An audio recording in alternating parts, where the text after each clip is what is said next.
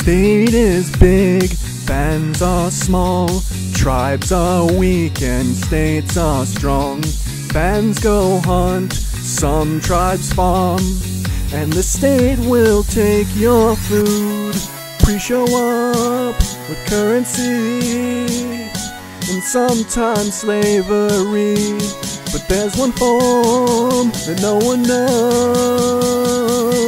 What is a chiefdom? Service says it's redistribution, rent through as accumulation. Pauketat says it's all irrelevant. What is a chiefdom? Monuments and stratified, more goods buried when people die. Chiefs on mounds placed way up high.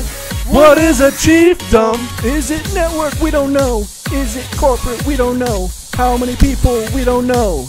What is a chiefdom? Spiro trades with Mississippians. Rapa Nui built colossal heads. Cusco wasn't really all that big. What is a chiefdom?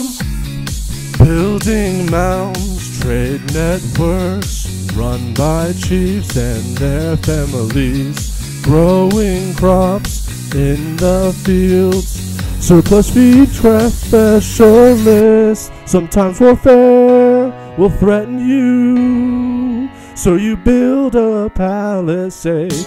But if you meet a weaker tribe, will you take their town by force?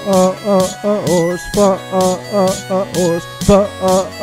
Will they be a tribute? So,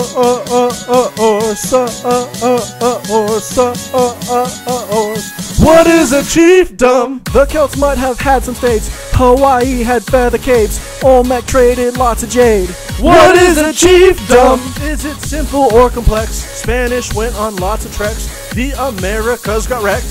What is a chiefdom? Social hierarchy. People now are less free. Tlingit had moieties. What is a chiefdom? Cahokia, La Venta. What is a chiefdom? So do we really know what a chiefdom is? Is it really a thing? Can archaeology help us to see what we want to know? Will it stay a mystery? Theory is hard. Post procession will say you're too evolutionary. Are they too hard? Chiefdom, chiefdom, chiefdom, Are you out of date? chiefdom. Are you still useful for comparison? Chiefdom.